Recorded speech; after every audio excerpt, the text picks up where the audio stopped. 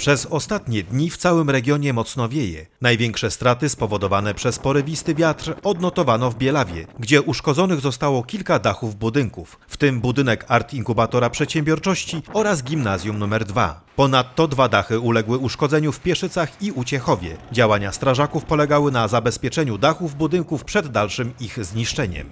W dniu wczorajszym w godzinach popołudniowych e, rozpoczęły się działania związane ze zniszczeniami spowodowanymi e, silnym wiatrem. E, Po godzinie 17 rozpoczęliśmy interwencję w miejscowościach Bielawa, Uciechów, Pieszyce, Piłowa Górna. Mm, Największe, największe straty, do jakich doszło ze względu na te zdarzenia, to w miejscowości Bielawa, gdzie e, zerwanych zostało e, trzy dachy budynków, w tym budynku Art Inkubatora oraz budynku e, Gimnazjum nr 2. E, Największa powierzchnia właśnie e, zerwanego dachu to budynek Art Inkubatora, bo prawie 100 metrów kwadratowych e, zerwanego fizycznie dachu. Pozostałe interwencje dotyczyły powalonych drzew, konarów przewróconych na jezdnię, uszkodzonych linii energetycznych.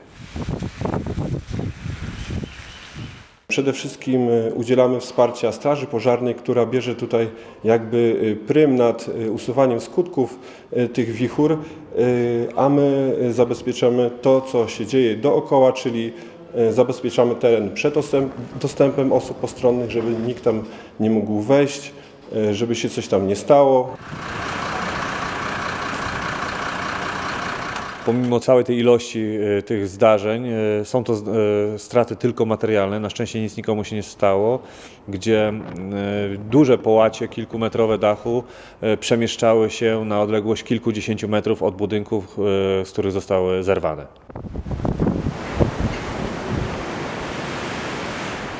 Z tego miejsca e, chciałbym zaapelować również do mieszkańców e, naszego powiatu, e, bo mm, znamy prognozy, że mm, dalsze si- silne podmuchy wiatru mogą występować przez kilka dni.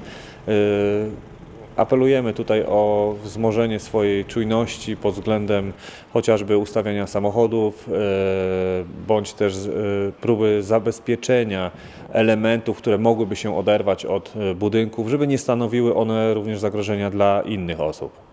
Synoptycy zapowiadają, że nadal można spodziewać się jeszcze bardziej porywistych wiatrów, dlatego prosimy o zwracanie szczególnej uwagi w te wyjątkowe pierwsze dni wiosny.